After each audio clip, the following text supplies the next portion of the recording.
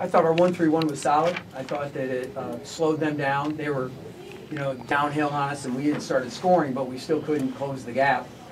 And I think they were shooting fifty-six percent the second half, so, at that time.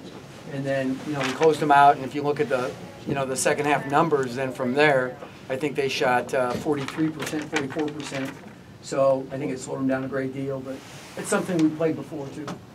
And the way that Clark kind of came on in overtime, didn't have his, maybe his best game overall, but can you talk about the way he kind of, it looked like he took things over. Yeah, he did a great job. We had a, kind of a soft contest on him that got him going, then he hit that one.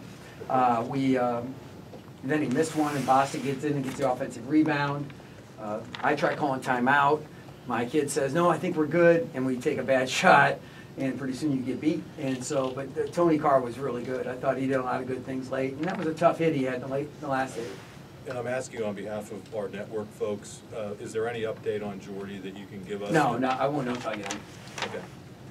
Anything else? What kind of challenges did Lamar present for you guys in the first half? Yeah, he's so strong and athletic. He's really a good player.